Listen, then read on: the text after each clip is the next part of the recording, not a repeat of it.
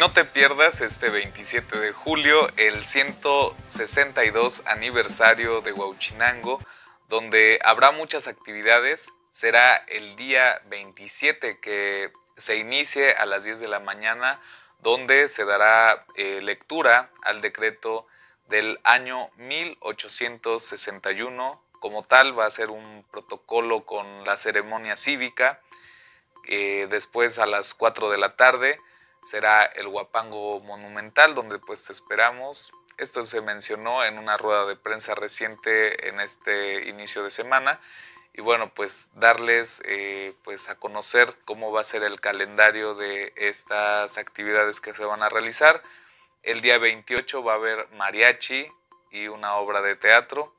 El día 29 se va a realizar una recreación de cómo era el tianguis en Huauchinango, eh, Julio Mejía, el actual director de Casa de Cultura, invitó a todas las personas a vestirse con algún atuendo indígena, ya sea de charro o algún estilo de vestimenta pues que nos remonte al siglo XX. Posteriormente se hará una recreación también de lo que era eh, la Feria de las Flores. Esto va a ser en la calle de las Flores, de ahí de Huachinango, bien en el centro. También habrá artesanías, platillos, representantes que son de la gastronomía huauchinanguense, eh, con una cocina tradicional que se va a instalar en este lugar, ahí en el centro, en el jardín central. Y también los cronistas del municipio participarán para que pues, nos hagan viajar en el tiempo. Además que se realizará un recorrido histórico complementando pues una experiencia de sabor y de saber. Se contará con la presencia de animales de carga.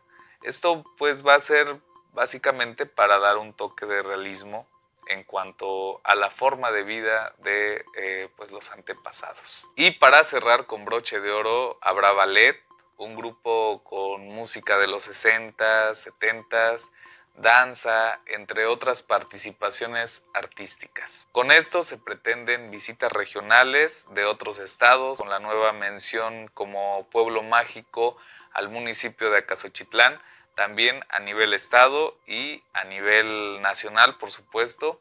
Eh, bueno, en los preparativos aseguró Julio Mejía que pues ya se les hizo la invitación a importantes personajes de gobierno para acudir a este 162 aniversario de Huauchinango. Y pues te pedimos que pases la voz comentando, etiquetando y compartiendo para disfrutar de esta experiencia que sin duda alguna marcará un recuerdo en las costumbres y tradiciones de una ciudad que prevalece y se transforma.